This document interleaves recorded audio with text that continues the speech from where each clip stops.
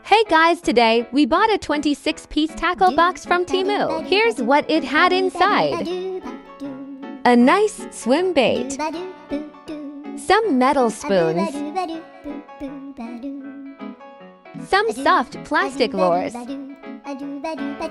more soft plastic lures, maggots EWW, a fishy, a lobster, some jig heads, circle hooks. Sorry, I don't know.